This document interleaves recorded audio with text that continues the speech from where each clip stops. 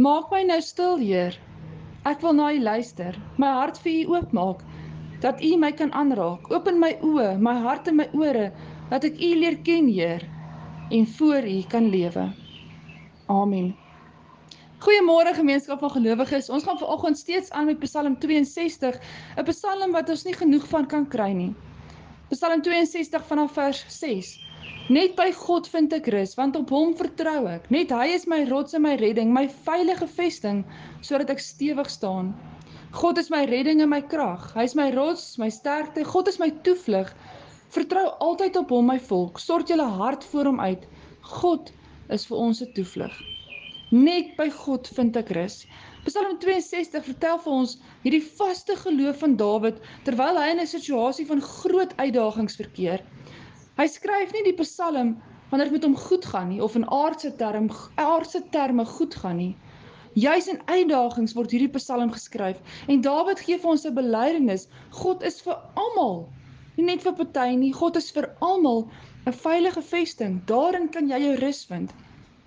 En dit is vir my die troos van 2021. Dit is hoe ek 2021 wil ingaan vir almal.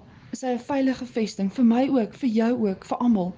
Maar kom ons maak dit 'n bietjie meer persoonlik vanoggend. Kom ons gaan dink 'n bietjie oor 'n paar goed. Watter dinge in jou huidige omstandighede laat jou veilig voel? Jy voel veilig want as gevolg van X, Y en Z en dan maak jy daai sin klaar. Kom ons sê dit bietjie anders. Wat laat jou lekker slaap? Of wat laat jou nie lekker slaap nie? Want gewoonlik vrese, bekommernisse, angs, probleme, dis die goed wat ons wakker hou want ons voel nie veilig nie. Daar's iets wat krap, daar's uitdagings, dalk 'n storm. So wat laat jou veilig voel?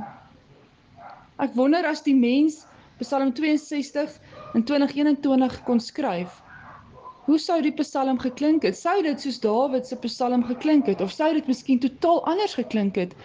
Wat laat ons veilig voel? Psalm 62 sê te midde van 'n wêreld vol lyding, te midde van jou lys van angs en vrese en bekommernisse, want daar is angs en vrese en bekommernisse, ook dit is 'n realiteit. Maar te midde van dit, ten spyte van dit, is God jou veilige staanplek. In dit is God jou veilige staanplek in die storm.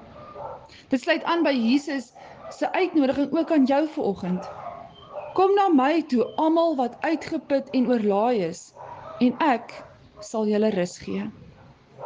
Sondag gesels ons verder oor watter tipe rus dit is, maar vanoggend hoor die uitnodiging.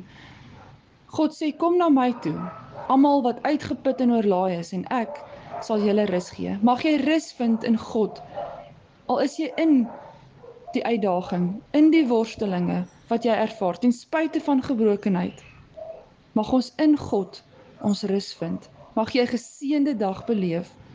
Totsiens.